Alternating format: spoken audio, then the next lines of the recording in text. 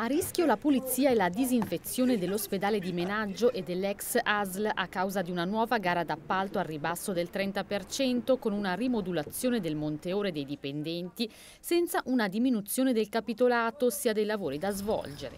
L'allarme era arrivato nelle scorse settimane. Ora i sindacati hanno dichiarato lo stato di agitazione e giovedì mattina incontreranno il prefetto Ignazio Coccia per cercare una conciliazione.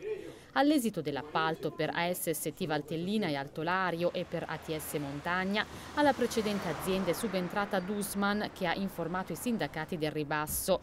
Per la provincia di Como sono interessate 11 persone all'ospedale di Menaggio e 5 all'ex ASL. CGL, Cisle e Will si sono da subito dimostrate contrarie. Due sono i problemi rilevati, uno riguarda il servizio stesso, l'altro l'importante diminuzione del monteore.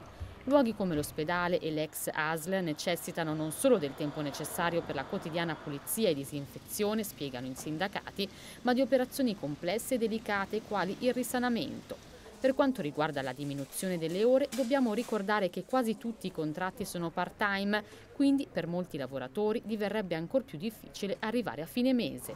Obiettivo dei sindacati incrementare l'orario per i dipendenti e difendere la qualità del servizio. Sempre giovedì, prima dell'incontro in via Volta, le parti sociali incontreranno Dusman per la questione relativa ai presidi ex ASL, i cui nuovi termini sanciti dall'appalto entreranno in vigore dal 1 gennaio 2019.